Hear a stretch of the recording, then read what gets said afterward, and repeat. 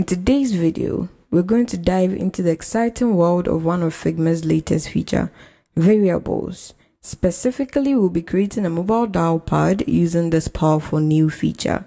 My name is Jacqueline and this is Aquiyah Designs.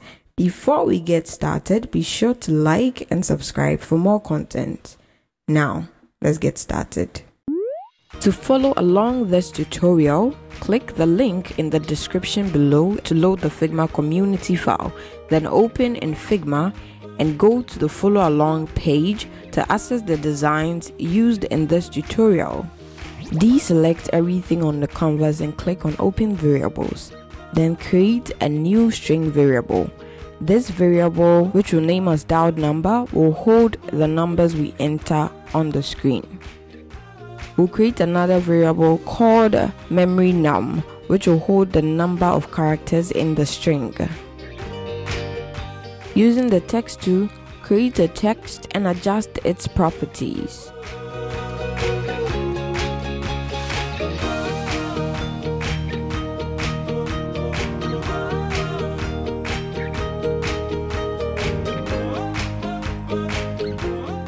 Press Shift A to add an auto layout and add a maximum width of 400 pixels and select the clip content checkbox.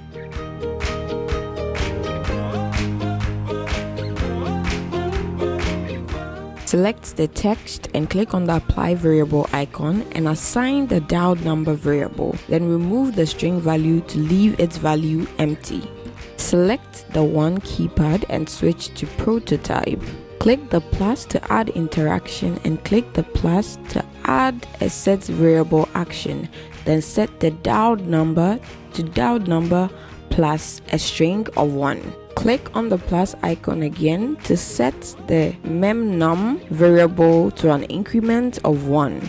Click on the frame and press shift spacebar to open a quick preview. When you click 1, 1 appears and the memory num variable increases by 1 as well. The next thing we're going to do is add the interaction to all the other keypads. To do that, we'll copy the interaction from the one keypad and select all the other keypads and paste the interactions. Then we'll go to the individual keypads to make the adjustments of the string according to the number on the keypad.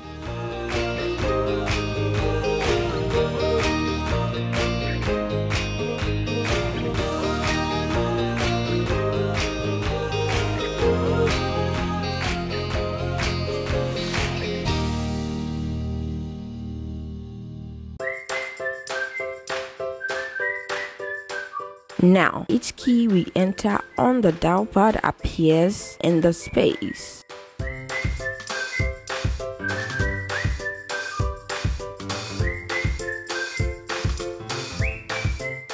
Great. So the next thing we like to do is to erase everything we've entered and re-enter new values. To do that, we select the backspace icon and then click plus to add a new interaction. Then set the variable dial number to an empty string.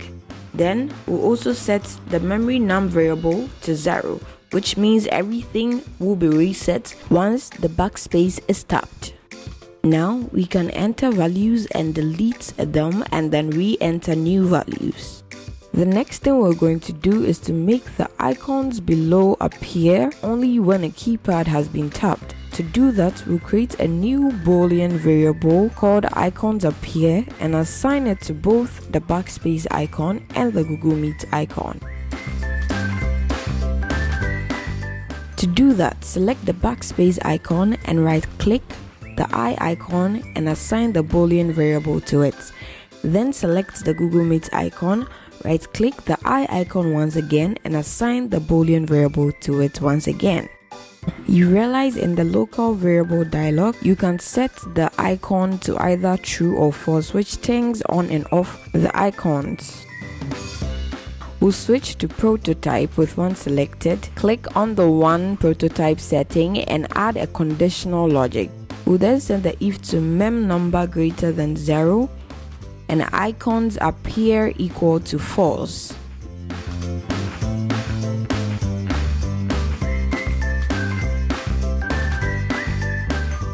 Then we'll add an action by setting icons appear variable to true.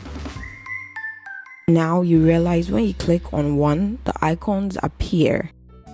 We want the icons to appear when any of the keypads are pressed. So to do that, we'll copy the prototype setting of keypad 1 and then select the rest of the other keypads, delete the previous interaction setting and paste the new setting. Then we'll go into each keypad to adjust the string setting based on the number on the keypad.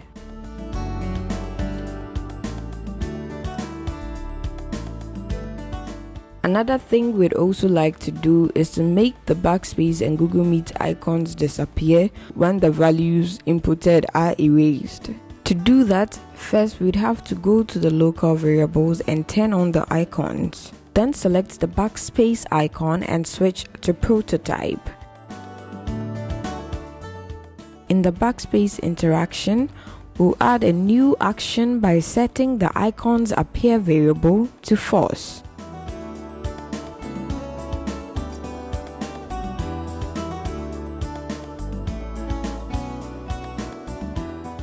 Finally, we'll go into the local variable and turn off the icons. Now, you realize that when we click on the dial pads, the icons appear and when we click on backspace, they disappear. Our next improvement will be to make our number actually dial once we've entered our numbers and clicked on the call button. To do that, we'll first copy the dialed number from the caller 1 and then paste it on the caller 2. Then select the caller icon and switch to prototype. Click the plus to add an interaction and then add a conditional logic. In the if space, set the memnum variable to greater than 0 and add the action of navigating to the next frame. This logic basically means that when numbers are entered and the caller button is pressed, it should switch to the next frame. But if no numbers are entered and the caller button is pressed, then nothing should happen. For the final thing, select the text and set its color to white. Select the frame and press shift space to preview. Now you realize after you've entered your numbers and pressed on the caller button, it actually starts dialing. That's it guys. If you enjoyed this tutorial, be sure to leave a like and subscribe for more content. Don't forget to watch the other videos on the channel. Thank you for watching.